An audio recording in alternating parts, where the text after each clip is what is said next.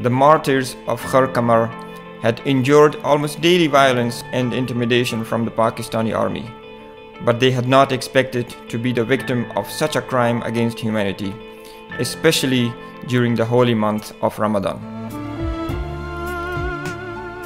Sanaullah and Madauf Khan had hoped to join their family for iftar in the evening rather than being murdered by the army.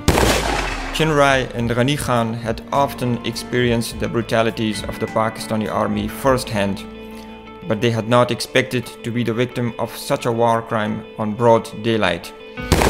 Gulbari Khan and Bilal had not even said goodbye to their loved ones.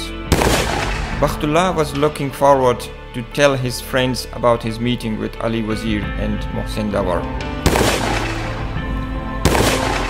Niyazbat Khan was worried about Sadiq Khan being shot, before noticing that he was bleeding himself and falling in eternal sleep.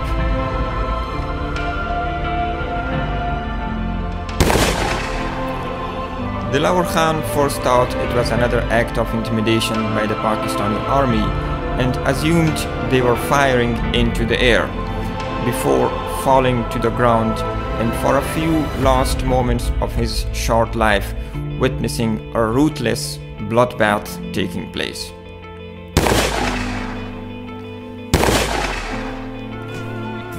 Nasser, who was complaining about the heat, suddenly felt cold. Bahram Khan had a lot of pain and knew he was dying, but he was more worried about the well-being of Wazir, Dawar and other PTM comrades than his own situation. Muhammad Salim thought of his family that he knew he was leaving behind. And Rafiullah, Rafiullah was feeling thirsty on this hot day in the middle of Ramadan.